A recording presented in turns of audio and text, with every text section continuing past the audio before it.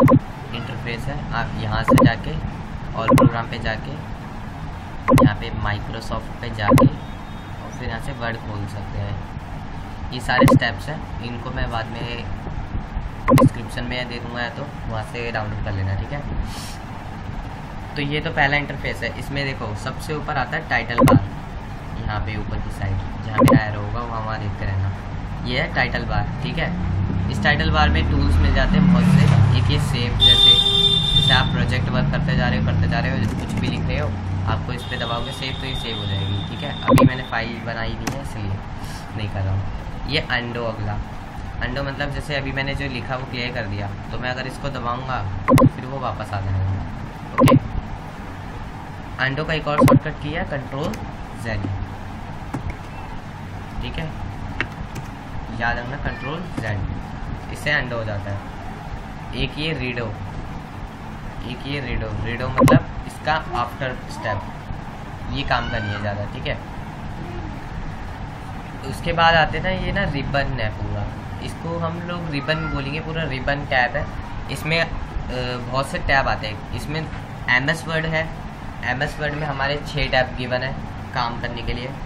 लेकिन वही देख लिया एम एस पावर पॉइंट और एम एस एक्सल देख लिया। वहाँ पे अलग अलग टैब्स बहुत सारे दिए होते हैं। हमारे में कितने हैं? One two three four five six seven seven tab है, एक सेकेंड हाँ सेवन टैब है। एक एक का नाम है होम एक का नाम है अगले का नाम है insert page layout references mailing review और व्यू मेनली जो टैब्स होते हैं, वो हर में सेम रहेंगे, पर कुछ कुछ अलग हो जाएँगे टैब्स ये फ़ाइल है, ये टैब में इंक्लूड नहीं होता, ये अलग ऑप्शन है, जिससे हम फ़ाइल के संग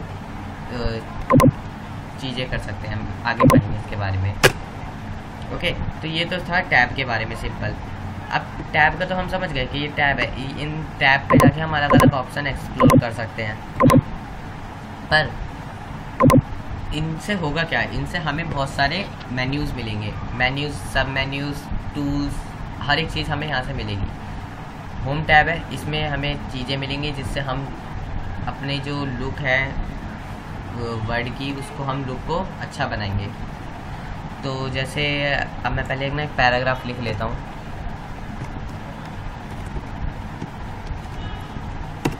जैसे पैराग्राफ आ गया। एक ये फॉर्मूले से आया है ये फॉर्मूला से पैराग्राफ लाया हूँ मैं। लेकिन नॉर्मल तुम्हें पैराग्राफ टाइप कर लेना है।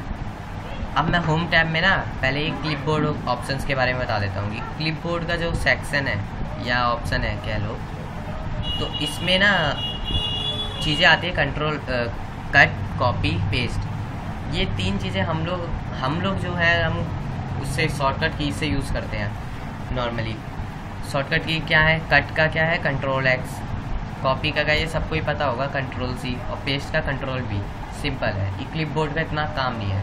अगला जो सेक्शन आता है, वो फॉन्ट का.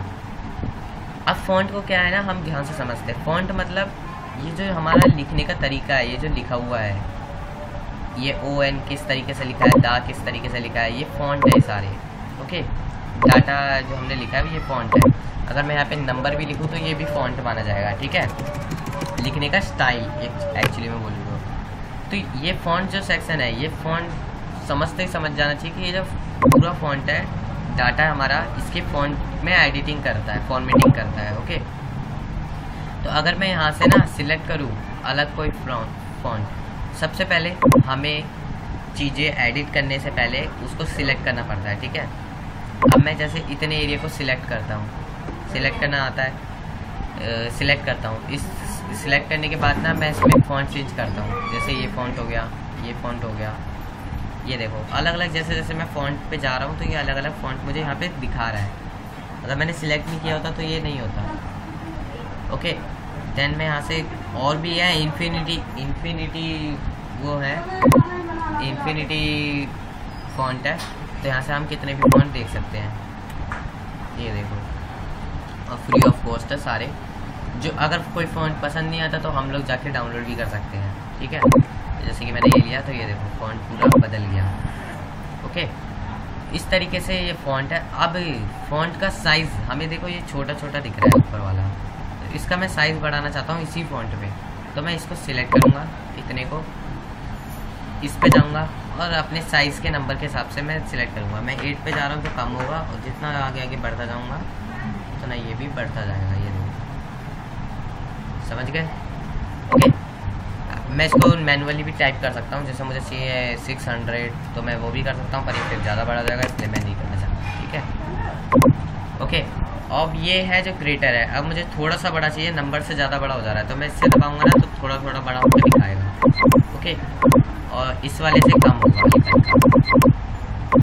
अंडरस्टैंड इसके बाद जो तीन हमारे मेन काम के आते हैं बोल्ड इटैलिक अंडरलाइन ये तीनों बहुत काम की चीज़ है। इनके शॉर्टकट की होते हैं। बोल्ड का होता है कंट्रोल बी देखिए माउस पॉइंटर रखेंगे ना धीरे से तो उसका नीचे आ जाएगा नाम लिखा हुआ। इटैलिक का आएगा कंट्रोल आई और अंडरलाइन का होगा कंट्रोल यू ठीक है? अंडरलाइन में हम लोग अपनी अंडरलाइंस देख सकते हैं। मतलब हमें किस टाइप की अंडरलाइंस चाहिए। ठीक है? और ये है, इससे क्या होगा ना स्ट्राइक थ्रू से हम लोग इसको दबाएँगे तो देखो, ये कट गया। कि कट गया मतलब जैसे हमें कोई चीज़ में एडिट करना हो कि ये वर्ड नहीं आना इधर तो हम इस कट का यूज़ कर सकते हैं। और इसके बाद ये पावर लगाने के लिए है। ये हमें अभी काम का नहीं है, आगे जाके पढ़ेंगे, इसको कब काम का आएगा। ओके तब तक के लिए अब ये देखिए, यहाँ पे आ गया हमारा टेक्स्ट इफ़ेक्ट जिससे क्या होगा, हम लोग जैसे सिलेक्ट करते हैं ये, इतना एरिया अब मैं टेक्स्ट इफ़ेक्ट पे जाके अपना जो टेक्स्ट है ना, उसको मतलब चेंज कर दूँगा, मस्त सी लुक में, ये देखो। अब इसको गौर करना जूम करके दिखा देता हूँ। इसकी यहाँ पे शेडो भी आ रही है हल्की हल्की ये टेक्स्ट इफ़ेक्ट है। इनमें टेक्स्ट में ज़्यादा मस्त मस्त इफ़ेक्ट डाल सकते हैं हम यहाँ से। अगर मैं चुनूँ, बहुत सारे हैं आउटलाइन चुनूँ तो ये देखो, कुछ अलग आ रहा है। ओके देन हम पे हाईलाइटर है। हाईलाइटर से क्या करेंगे? हम लोग इतना सेलेक्ट करते हैं हाईलाइटर कर दूँगा तो ये देखो हाईलाइट हो जाएगा इतना एरिया इसको मैं अभी डिसाइलेट कर दूँ। और ये नीचे वाला जो एरो है ना, इसको दबाऊँगा। साइड में एकदम बगल में एक हल्का सा एरो है, इसको दबाऊँगा तो मैं हाईलाइटर का कलर बदल सकता हूँ। इसके बाद आता है फॉन्ट का कलर बहुत से जने कंफ्यूज हो जाते हैं एक इसमें और एक इसमें। तो ये चीज़ अलग है, ये चीज़ अलग है। ये फॉन्ट कलर है फॉन्ट कलर से क्या होगा ना, हमारे जो फॉन्ट का कलर है वो चीज़ हो जाएगा। अगर मैं इसको सिलेक्ट करूँ, पहले मुझे सिलेक्ट करना पड़ेगा। जैसे मैंने करा, इतना एरिया सिलेक्ट करा। अब मैं इस पर क्लिक करूँगा तो देखो, एक सेकेंड ये हो नहीं रहा। तो देखो, हमारा जो फॉन्ट का कलर है वो चेंज हो गया। दिख रहा है? मैं रेड करूँगा तो ये रेड हो जाएगा। अब मैं इफ़ेक्ट भी देख सकता हूँ हल्के हल्के देखो साइड में। नीचे साइड ओके देन ये इरेजेबल क्लियर फॉर्मेटिंग है। अगर मैं जैसे मैंने ये सारी फॉर्मेटिंग कर रखी है, इनको मैं सिलेक्ट करके इस पर क्लिक कर दूँगा। तो जितनी भी फॉर्मेटिंग हो रखी थी, वो सब हट जाएगी या डिलीट हो जाएगी। ओके। देन हमारे कुछ अलाइनमेंट आते हैं। अलाइनमेंट मतलब बोले तो नॉर्मल हमारे लिखने का तरीका। अगर मैं अलाइनमेंट राइट साइड पे करूँ लेफ़्ट साइड पे सॉरी तो ये लेफ़्ट साइड पे हो जाएँगे सारे। ये यहाँ से स्टार्ट होगा, जिधर एरो मेरा अच्छे तरीके से। पर मैं अगर ये वाला करूँ राइट साइड वाला तो ये देखो, सारी जगह यहाँ से शुरू हो जाएँगी। सारा एरिया पहले सिलेक्ट करता हूँ और फिर इसको करता हूँ। ये देखो। तो ये हो गया हमारा चार अलाइनमेंट होती है लेफ़्ट राइट हमने देख लिया। एक ये जस्टिफाई इससे क्या होगा ना, मैं ये सिलेक्ट करता हूँ और जस्टिफाई कर दूँ तो ये देखो क्या होगा। ये सब बीच में आ गया ओके और अगला है ये जस्टिफाई सॉरी ये है। ये वाला आई थिंक सेंटर है ओके जस्टिफाई से क्या होगा ना जस्टिफाई से पूरा फिल हो जाएगा line wise line wise fill हो जाएगा ओके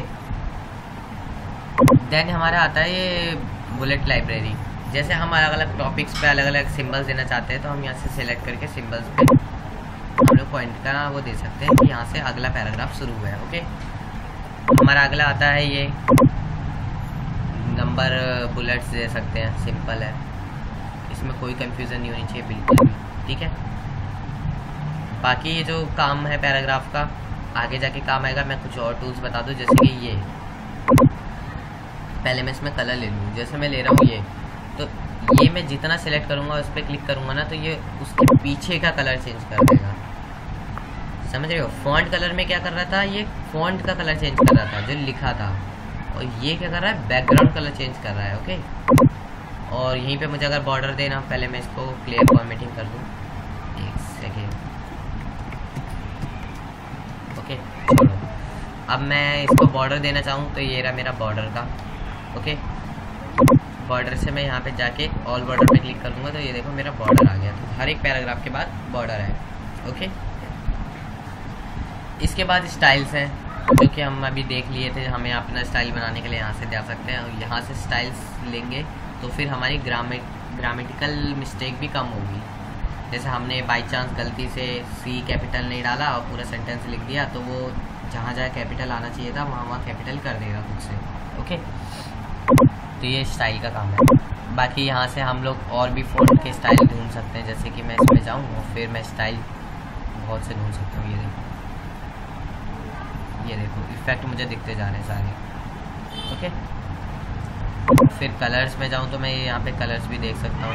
फॉन्ट में जाऊँ तो मुझे अलग अलग ऑफ़िस के हिसाब से फॉन्ट मिल जाएँगे। Okay then paragraph spacing paragraph spacing ये अभी काम की तो नहीं है, पर मैं बाद में बताऊँगा इसको, ठीक है? जब आगे काम होगा। तो ये था हमारा पहला होम टैब इसके बारे में जितनी मतलब प्रैक्टिस करेंगे हम लोग, उतना अच्छे से जान पाएँगे। इसमें जो जो टूल्स हैं, उनके ऊपर टेस्ट लिया जाता है कि कौन सा टूल कहाँ पर है, किस तरीके से है। तो इस हिसाब से हम लोग काम करेंगे। देन अभी के लिए सिर्फ़ इतना ही। हाँ मैं ये भी बता दूँ, ये एडिटिंग वाला सेक्शन है, इसमें क्या होगा ना फाइंड कर सकते हैं हम। अभी, अब मान लो ये जो सेंटेंस है, ये बहुत बड़ा है। मुझे इसमें से एक गैलरी शब्द है, वो ढूंढना है। तो मैं फाइंड पे क्लिक करूँगा। अब मैं इसमें लिखूँगा गैलरी